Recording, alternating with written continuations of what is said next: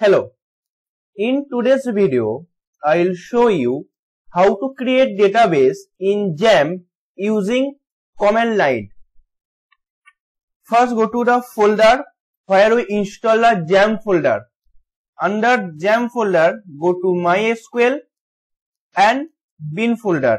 We target this path and my XAMPP folder is installed D folder to the command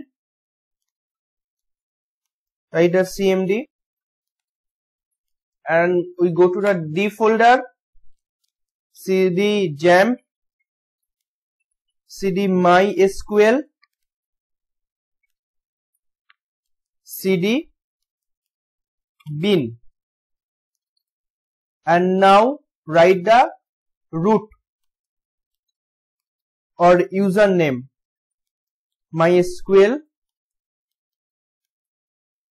space hyphen u space username root space hyphen p and enter. And enter password we localhost we use the blank password. So click the enter.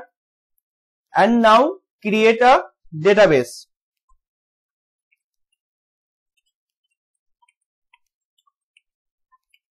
Create database is the admin.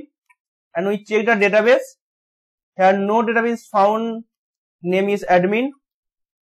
Now enter and query ok one row affected. And refresh this page. And admin database is created.